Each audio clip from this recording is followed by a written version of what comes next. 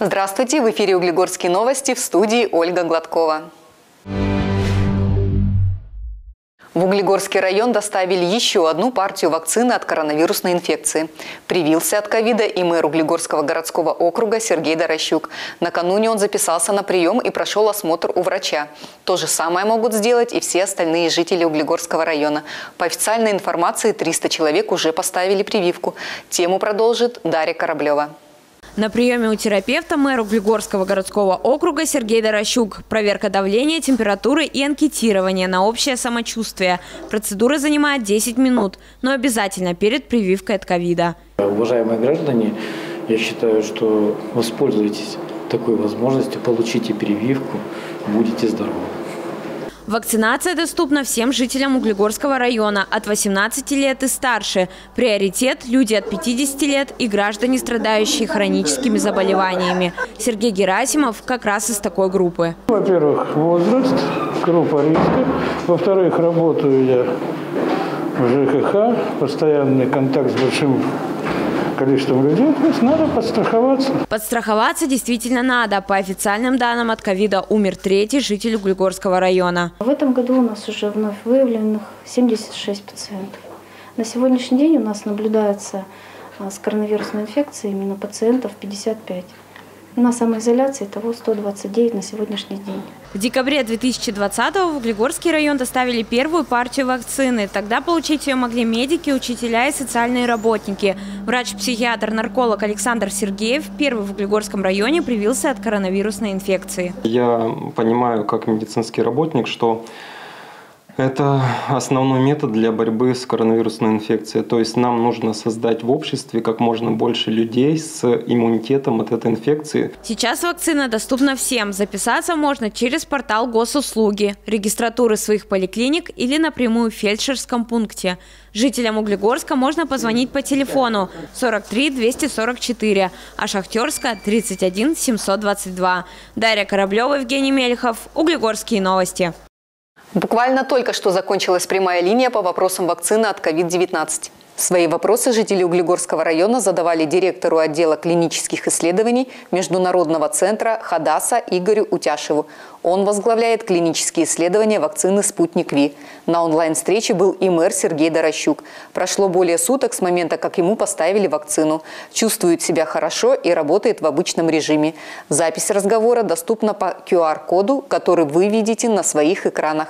Кроме того, в новом выпуске газеты и на сайте углегорских новостей можно будет прочитать о том, как прошла онлайн-встреча и какие вопросы задавали жители Углегорского района. Кадровые перестановки в администрацию Углегорского городского округа. Пост начальника управления образования покидает Ольга Астахова. Причина – переезд в другой регион. Временно исполнять обязанности будет Елена Тамонова. Ранее она занимала должность ведущего консультанта управления образования. Православные отметили один из главных церковных праздников – Крещение Господне. В этом году медики и священнослужители рекомендовали воздержаться от традиционных купаний в проруби. И все же морозы и пандемия многих не испугали. Как и пристальное внимание общественности к месту проведения крещенских купаний. Тему продолжит Юлиана Александрова.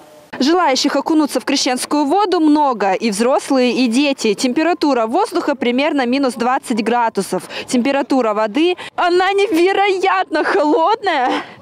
Поэтому здесь сегодня точно самые смелые и самые закаленные жители Углегорского района. Самых смелых ждали на реке Надеждинки. За несколько часов до одного из главных православных праздников место проведения крещенских купаний изменили. Ранее прорубь готовили на озере Черном, но не всех жителей это устроило. Вернуться на старое место решено было после официального запрета Роспотребнадзора. Несмотря на то, что лабораторные исследования воды на озере показывают чистоту, мы не можем принять даже небольшой риск, когда речь идет о здоровье людей. Решено вернуться в село Надеждино. Служба в храме Владимирской иконы Божией Матери прошла по всем канонам. Утром отец Евгения светил купель, и уже днем все желающие смогли окунуться. Такой личный подвиг, по мнению представителей церкви, грехов не смывает. Я еще раз подчеркиваю, купание в проруби – это благочестивый обычай из любви к Богу а грехи прощаются именно в таинстве покаяния. Это подвиг ради Бога, но не таинство прощения грехов. Александра Голуненко три года хотела окунуться в ледяную воду на крещение. То не успевала приехать, то мешала работа. В этом году получилось. Вообще классно. Передать? Мне очень понравилось. Я бы, наверное, еще просто пошла сейчас и искупалась. Палатки для обогрева и горячий чай тоже успели организовать. Но, кажется, тем, кто окунался в ледяную воду, это было совсем не нужно. Первый раз вообще хорошо. Замечательно. Да. холодно? Мне да нормально. Окунаешься, а наоборот согреваешься. Сейчас кровь начинает уже работать. Скорее прилив адреналина я испытывал, когда окунался. Ежегодно все желающие окунаются в ледяную воду. Считается, что крещенская вода обладает особыми свойствами и сохраняет их весь год. Юлиана Александрова, Екатерина Петрова, Евгений Мелехов. Углегорские новости. Управляющие компании в Углегорском районе ежедневно чистят кровли от снега, и дорожники о своих обязанностях не забывают. Из-за обилия снега работают днем и ночью, расчищают проезжие части и тротуары. Для этого используется 27 единиц спецтехники. Особенно остро стоит вопрос о расчистке дворов. Директор МКП ЖКХ Максим Фить встретился с жителями дома номер 9 на улице Пионерской и дома номер 6 на Красноармейской в Углегорске. Жалобы объективны – завалы снега возле подъездов. Нам нужно как бы там один день хотя бы для того, чтобы мы могли сделать следующее. Мы могли сделать бюллетни э, как бы голосования, да, как бы, э, бюллетни по квартирам с вашей помощью как бы вы скажете да, нет на этот вопрос, да, нет. И мы тогда сделаем протокол. Проблема в том, что не чистят дворы. Вот в этом проблема. Позавчера вот со второго этажа Валентина Ивановна топором сама очищала ступеньки придомовую территорию. В настоящее время управляющие компании произвели расчеты э, потребности денежных средств, которые пойдут на расчистку дворов. Э, эти данные направлены в Министерство ЖКХ. Э, мы надеемся, что в скором времени управляющие компании получат получат субсидию на возмещение тех расходов, которые они понесут. С понедельника мы планируем зайти на расчистку дворов э, после того, как муниципальное предприятие благоустройства закончит расчистку муниципальных дорог и проездов. Работа у дорожников скоро может стать еще больше. По информации Гидромедцентра России, на Сахалин движется очередной циклон.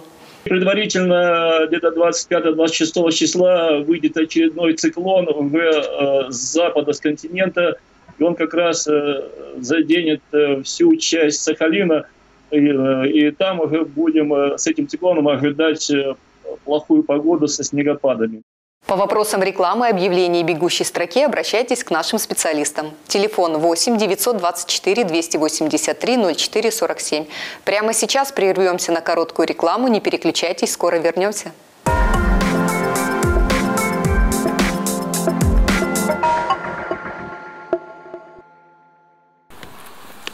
Яркие, стильные, модные и, конечно, классические. Все это об ассортименте шуб с выставки «Меховые традиции», где вы сможете выбрать красивую, современную и, самое главное, теплую шубу, которая будет радовать вас долгие годы. В этом году очень хорошо покупают вот именно молодежные изделия из норки, которые у нас представлены, также изделия из э, шерсти натуральной. У нас можно приобрести за наличный, безналичный расчет. На модели прошлых сезонов можно получить скидку до 50%, а при покупке шубы – пуховик в подарок. Каждое меховое изделие имеет сертификат и гарантию качества. На этой выставке мне понравилось, что женщина любого возраста сможет найти для себя подходящую модель.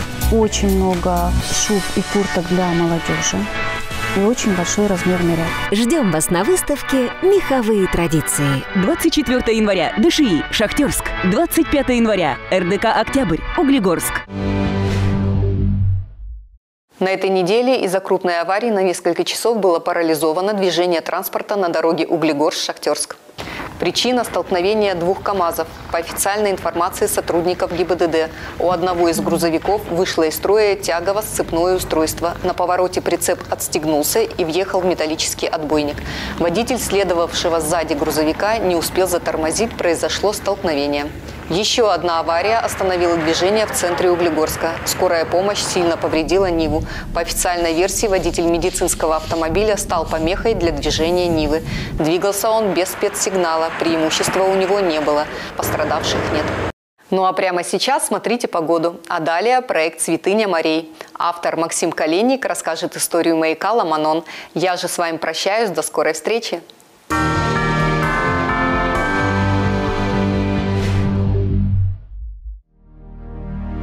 Прогнозу Гисметео, завтра в Углегорском районе ожидается переменная облачность, небольшой снег. Днем 13, ночью 17 градусов ниже нуля, ветер до 14 метров в секунду.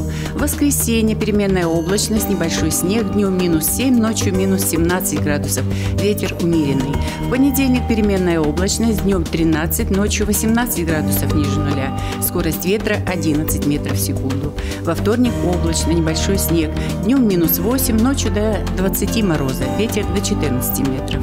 В среду пасмурно и снежно, днем минус 3, ночью минус 7 градусов, ветер до 13 метров в секунду. В четверг облачно со снегом, усиление ветра до 20 метров в секунду, днем минус 9, ночью минус 12 градусов. В пятницу ожидается пасмурная погода, небольшой снег, температура днем 10, ночью 12 градусов мороза, порывы ветра до 20 метров в секунду.